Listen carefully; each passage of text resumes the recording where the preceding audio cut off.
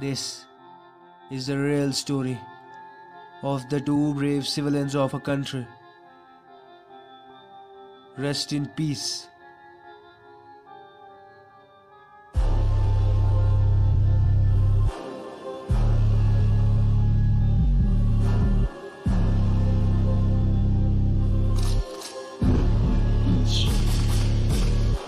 हाँ समय था वो सोलह दिसंबर ने अगर था। लगा बिना था दिसंबर एक।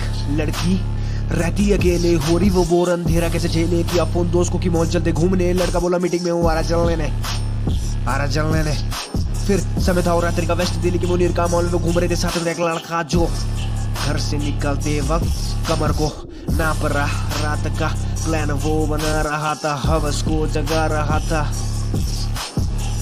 मैं पूछू एक सवाल कौन लेगा ज़िम्मेदारी हर जगह घटना यही घटती, सारे मुँह कर जाते, क्या कर मैं तो ब्रह्मचारी।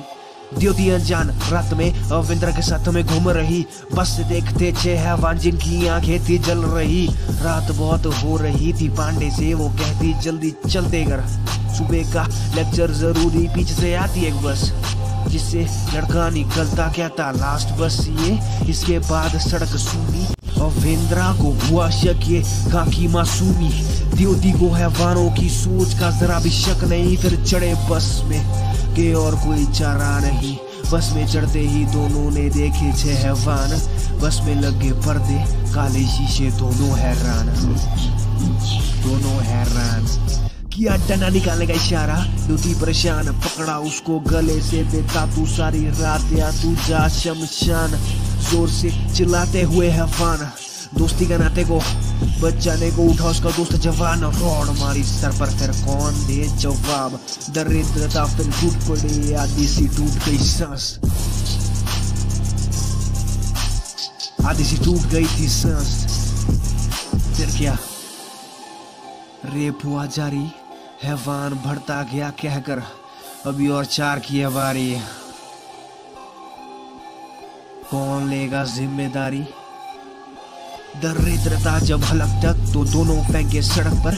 लड़के ने दिखाई हिम्मत, लोगों से कहता, बचाओ या कर लो, आँखें बंद। ऐसा ही कर दे अगर यहाँ तुम्हारी बहन हो, लोग बोले कुछ किया होगा तू नहीं करो। पुलिस कॉल, कई घंटे बाद इला सहारा अस्पताल पहुँच करो। फिल फॉर्म उसके बाद आएँगे डॉक्टर और होगा आपका ऑपरेशन कुछ ना हुआ उससे खड़ा रह गया, वो भी फ़ंक्शन निशान चेक किए तो लड़के के सर पे लगी थी चोट। पैसे ना दे, फिर भी किए सिंगापुर की टिकट। ये जाते जाते एक बार उसने खोली आँख और वही उसकी सांस डब, वो वही खत्म। फिर क्या? देश में पहली बात, शुरू कैंडल मार्च। आज भी चल रहा सेम ना सुधरा संविधान और मैं आज भी हैरान। जब तक ज़िंदा ये हैवान, ना कोई होता परेशान। कैसे बेटी एक सोती। हम करते शपथ, आगे से ना बने कोई द्योती रेस्ट इन पीस